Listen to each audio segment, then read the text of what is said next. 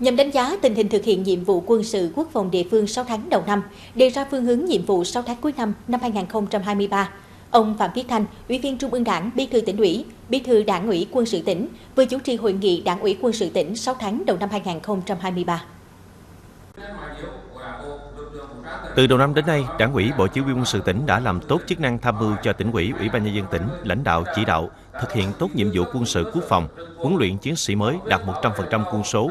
huấn luyện dân quân tự vệ đạt 60,5%, huấn luyện dự bị động viên đạt 58,1% kế hoạch năm, tăng gia sản xuất đạt 67,1% kế hoạch năm. Trong công tác xây dựng đảng, các cấp ủy chi bộ đảng trong lực lượng vũ trang tỉnh đã thực hiện nghiêm nguyên tắc tập trung dân chủ,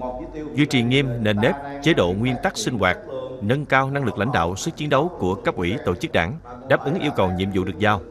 6 tháng cuối năm, Đảng ủy quân sự sẽ tiếp tục lãnh đạo, chỉ đạo lực lượng vũ trang tỉnh, duy trì nghiêm chế độ trực sẵn sàng chiến đấu, chủ động phối hợp, nắm, dự báo, đánh giá tình hình,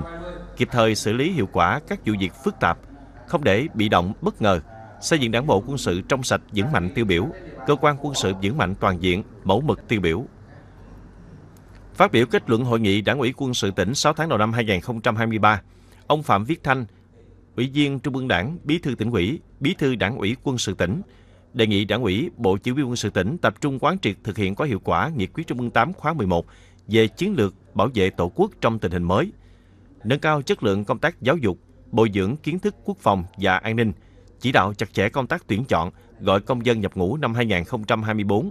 chủ động tham mưu, đề xuất các giải pháp xử lý hiệu quả các tình huống, không để bị động bất ngờ.